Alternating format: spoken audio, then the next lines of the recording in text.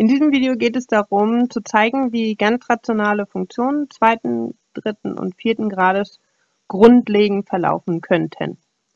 Hier ist jeweils die allgemeine Funktionsgleichung der ganz rationalen Funktion angegeben.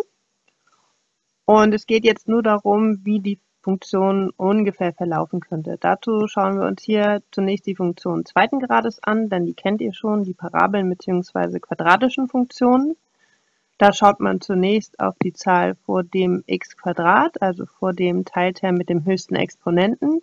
Dann ist die Zahl positiv, dann weiß ich, die Parabel ist nach oben geöffnet, könnte also ungefähr so aussehen.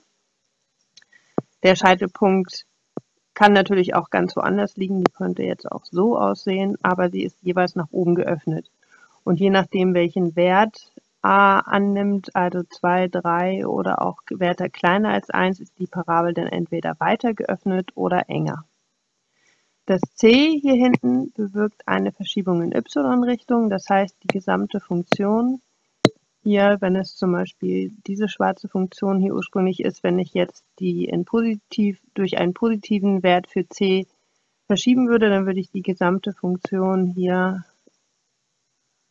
einmal nach oben verschieben. Und dann kann ich die ganze Funktion natürlich auch noch entlang der x-Achse verschieben. Und wenn ich das a negativ wähle, dann kann ich natürlich die Parabel auch nach unten öffnen lassen. Aber die grundlegende Form, dieses nach außen geöffnete U irgendwie, wie man das bezeichnen möchte, die bleibt immer gleich. Und so ähnlich ist das auch bei Funktionen dritten und vierten Grades. Schauen wir uns zunächst die Funktion dritten Grades an. Auch hier wieder zunächst auf die Zahl vor dem Teilterm mit dem höchsten Exponenten. Dann ist diese Zahl positiv, kann ich mir zunächst das Verhalten der Funktion für große und kleine x-Werte überlegen.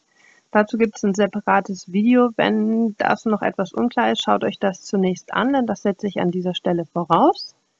Schaue ich mir also das Verhalten für kleine x-Werte an, dann bedeutet das, dass ich hier einen großen negativen Wert habe. Das heißt, die Funktion läuft hier nach unten raus, wenn ich x immer negativer werde, äh, gehen lasse.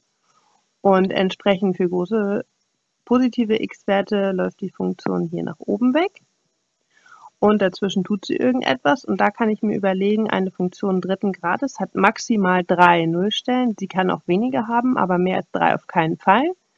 Das heißt, sie könnte dazwischen zum Beispiel so verlaufen. Hier habe ich also meine drei Nullstellen, habe ein Maximum und ein Minimum und in der Regel sehen ganz rationale Funktionen dritten Grades auch so aus. Für positive Werte hier vor dem x hoch 3.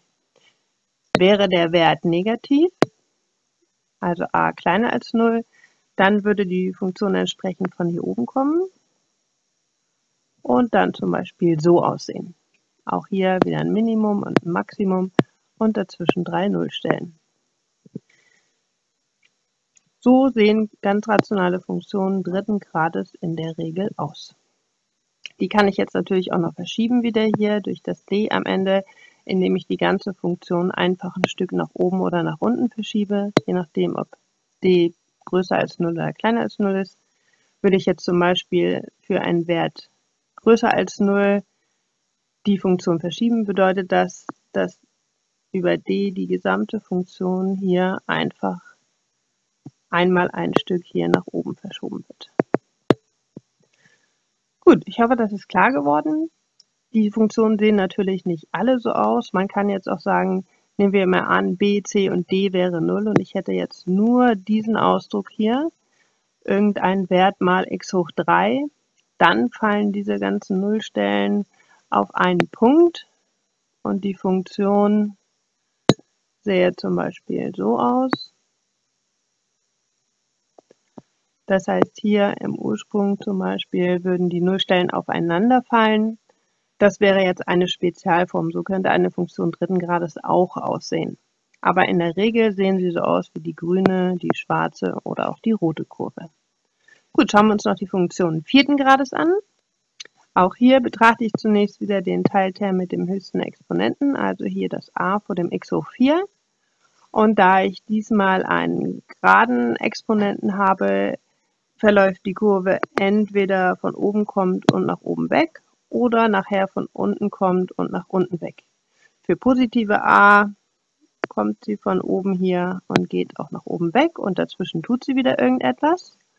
Und da kann ich mir jetzt überleben, eine Funktion vierten Grades hat maximal vier Nullstellen. Das heißt, das könnte zum Beispiel so aussehen. Sie hat also zwei Minima, ein Maximum und dazwischen vier Nullstellen. E ist hier wieder dafür verantwortlich, dass die gesamte Funktion zum Beispiel hier in positive y-Richtung verschoben wird. Das würde für ein e größer als 0 passieren. Wenn ich das a negativ wähle, dann würde sie von hier unten kommen, hier wieder ihre Runden drehen und dann auch nach unten weglaufen, hätte diesmal ein Minimum und zwei Maxima, aber auch wieder diese vier Nullstellen hier. Im Wesentlichen sehen die meisten ganz rationalen Funktionen in der Form von dieser Art aus. Die Nullstellen und Maxima und Minima können natürlich jeweils verschoben sein. Das hängt hier von den Parametern hier in der Mitte ab. Es kann natürlich auch wieder hier zu Spezialfällen kommen. Wenn ich jetzt sage B, C, D und E ist 0 und ich habe hier nur diesen Ausdruck 3xo4 zum Beispiel, dann sieht die Funktion tatsächlich so aus, fast ähnlich wie eine Parabel, nur hier unten habe ich dann eine vierfache Nullstelle weil die Nullstellen sozusagen hier alle auf einen Punkt zusammenfallen. Aber auch das wäre jetzt wieder ein Spezialfall, denn in der Regel sehen die Funktionen wie die rote, schwarze oder grüne aus. Falls noch Fragen sind, gern zu mir.